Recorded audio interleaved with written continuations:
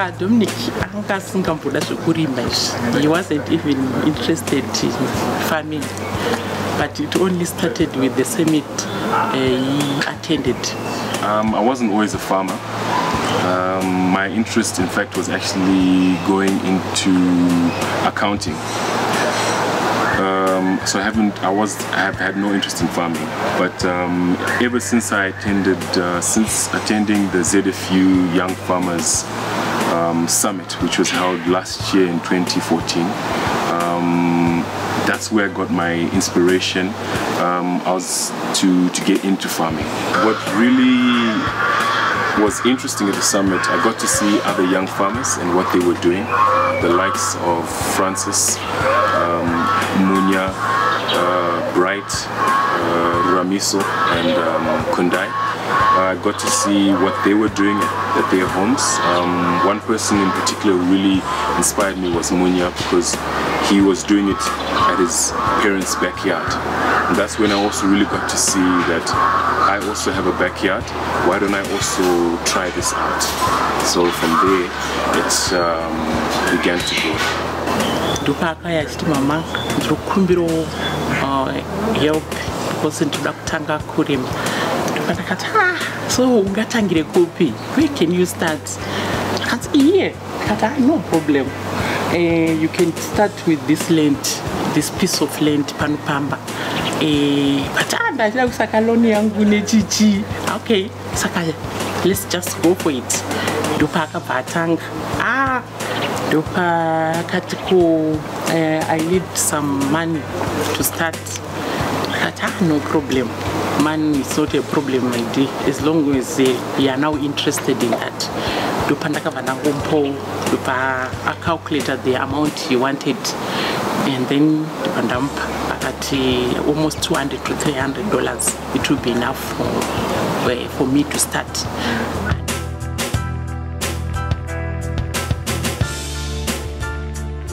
With that money, I use that money to buy seedlings, um, uh, fertilizer, and that was that. That's basically the inputs that's needed for growing lettuce. Uh, this particular variety, you know, is a commander, which is uh, probably one of the most common ones, kind of Murita commercial, uh, Murita lettuce commercially, uh, mostly for its size and its shelf life.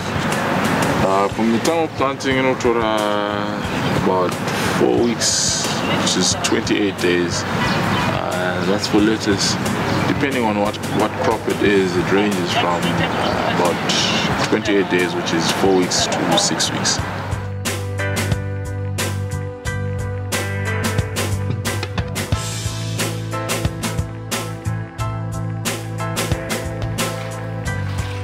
So this how.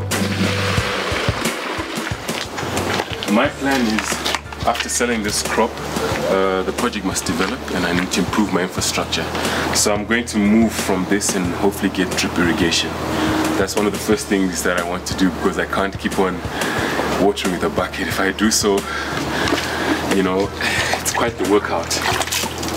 So the reason why I use this cup, you can you can use any other method, but the reason why I use this cup is because lettuce is a fragile crop. So if you're gonna get the bucket and just pour, it can easily dig out the crop or damage the leaves, which will affect the growth. So, but I mean, that's the thing about the summit. It really motivated and got me going into farming such that I don't really feel the heaviness of watering this whole field with a bucket.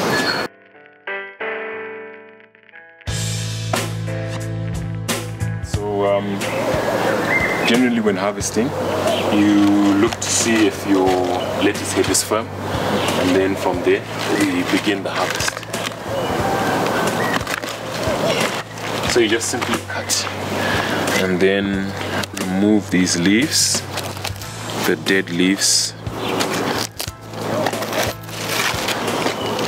Some of these ones can stay because when you take them to the shops, they want the leaves to be there.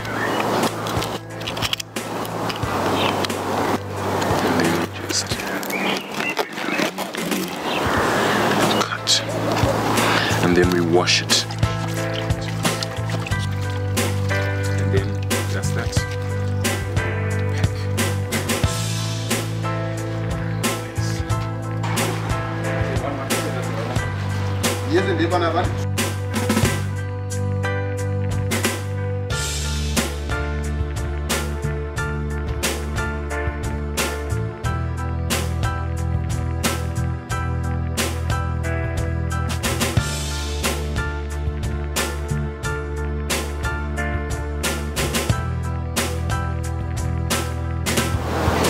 All you are seeing is as a result of the summit that we that we went, which was so so inspiring to the point of action and the crop that is coming up. I'm really, really proud of him and you young farmers out there, this is an example for you to also come to Dominic, link up with other young farmers so that you can join together and as well be an inspiration to others. From this area, we've just uh, completed harvesting this area and this area has given me back my inputs and quite a bit of profit. So on this other area here just remains profit. Yeah, so the project is proving to be very, very viable. It has given me a hope for the future and the focus because um, from the achievement that I've made, that I've done so far, it's showing me that there is a lot that I can do. My short-term goal is that um, I started this project after the summit that we had in 2014. So my idea is that by the next summit, I should be able to give the testimony that I'm earning a minimum of $1,000 per month. And uh, my long-term goals, there are quite a number. I want to uh, open up my own fruit and veg distribution supermarket, at least within the next five years. And at the same time, I would like to, from there, look at tackling the other markets like Mbare Musika and seeing how we can we can create a different platform for farmers to be able to market their goods.